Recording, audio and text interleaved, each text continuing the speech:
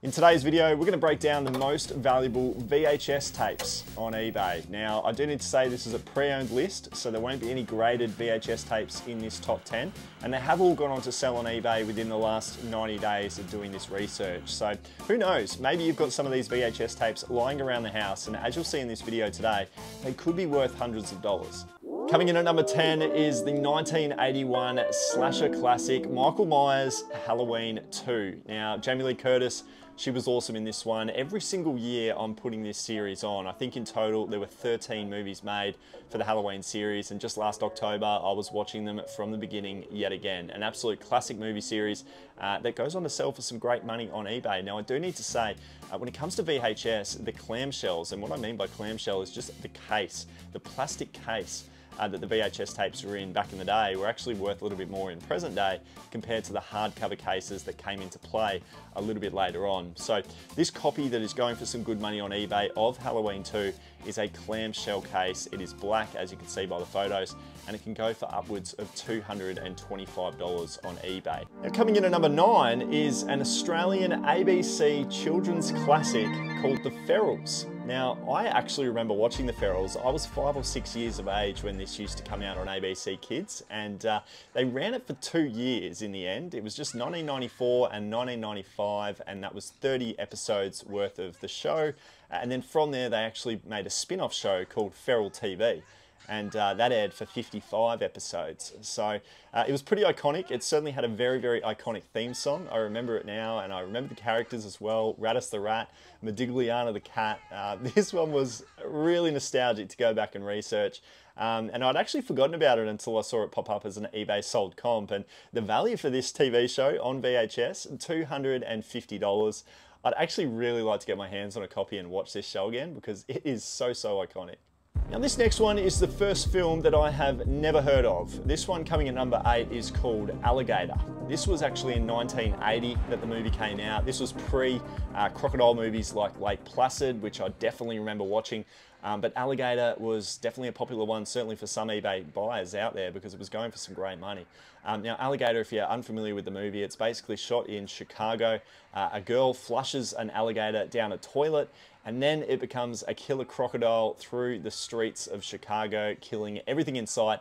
And it's up to the local town's police officer to try and end all the disaster that's going on, basically. So, um, who knows if it's a good one or not? Let me know if you've seen it. Let me know if it's worth me watching. Uh, like I said, it's the first one on this list that I didn't know about, um, but it was selling on eBay for $260, so maybe it's worth getting my hands on. The next one that we've got coming in is uh, number seven, the 1989 Fright Night 2 film. But uh, this is the sequel to the 1985 Fright Night movie. I think there were only ever two originals made in this series, but it isn't actually so much the movie that makes this one super rare and collectible. It's again, like the clamshell case, the box that it comes in.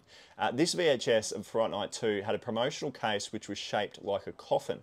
And that's the one that's obviously worth a significant amount of money. If you found just the Fright Night 2 standard VHS tape, um, it wouldn't be worth a crazy amount of money, but that coffin case certainly is. Now, if you're looking for it, eh, those that are in Australia are going to stand a better chance of finding it because it was an Australian release only.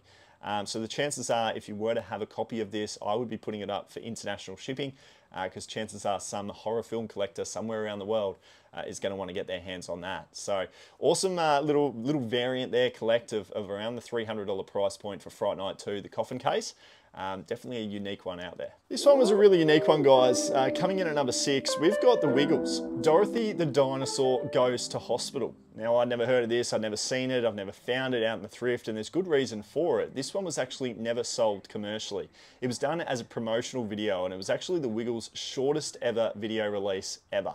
It only lasts 11 minutes, and it's basically a documentation of Dorothy going to hospital to make kids at the Sydney Children's Hospital feel safe about the process of going under anaesthetic uh, and being seen by doctors. So um, done to try and help the kids like all the Wiggles VHS and DVDs are, uh, but this one, no commercial sales for it. It was never released, it was just a promotional video, but if you do find it on VHS, you can sell it onto eBay as a very rare Wiggles title. Not too many have got it, and it's worth about 350 bucks. Now, no surprises with this one because it is quite a large horror movie series. A bit like Halloween, this one's very, very similar. There's eight movies in this series and it is Child's Play that I'm referring to. Now, it started back in 1988 and there's been movies every couple of years all the way up to 2019. It's an absolute classic in the horror genre. Wasn't too surprised when I saw this one popping up on VHS, but just like all of the other case studies with these top 10s, uh, it comes down again, yet again, to that case. Now, this one that I'm seeing here for Child's Play has been able to go on to sell for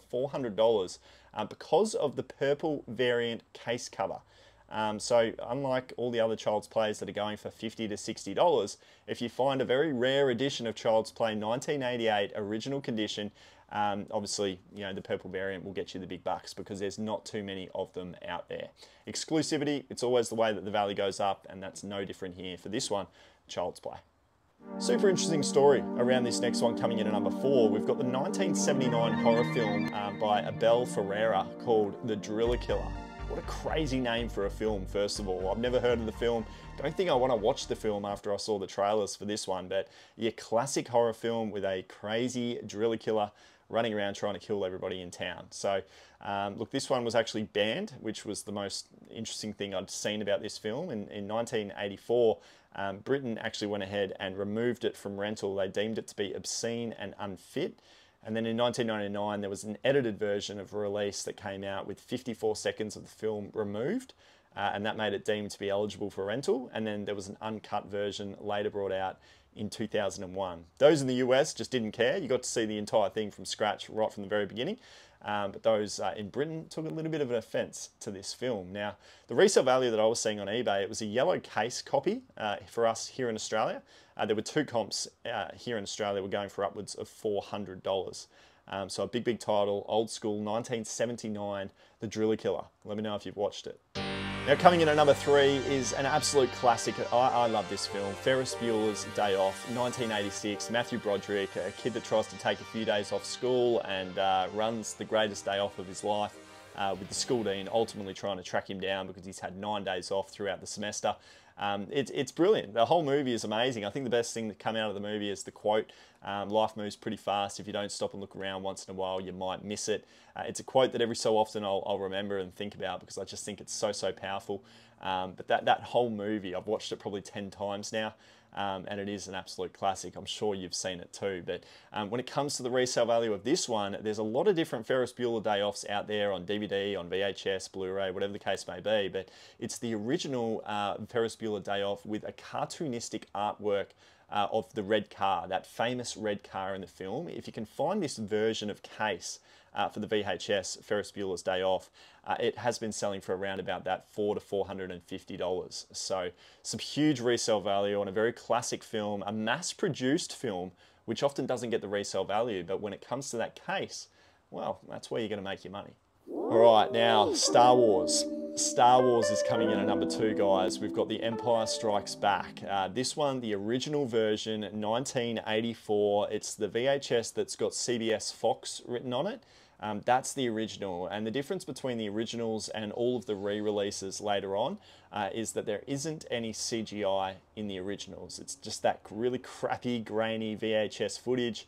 Um, that collectors absolutely want to get their hands on. They absolutely love that stuff. Now, if you had this Star Wars as a brand new sealed and you went and got it graded, it could be worth thousands and thousands of dollars. Um, but if you have just a pre-owned copy of this Star Wars Empire Strikes Back, 1984, CBS Fox, we're getting into the nitty gritty here, but if you've got that exact variant, that basic original model, uh, you're going to get yourself a $500 sale price, I dare say, on eBay. Uh, but just hold on to anything VHS that is Star Wars related and try and build up a really nice collection of Star Wars VHS. Um, because even selling it off as a bundle uh, is a really, really good way to go about the resale value. But um, yeah, huge collector series, obviously, for Star Wars. A lot of fans out there. You'd sell it in a heartbeat. Coming in at number one, we have another film that was actually added to that banned list in Britain back in the 1980s. It was part of that uh, list that uh, The Driller Killer was on. Um, this one had some really good resale value on eBay. Another horror film.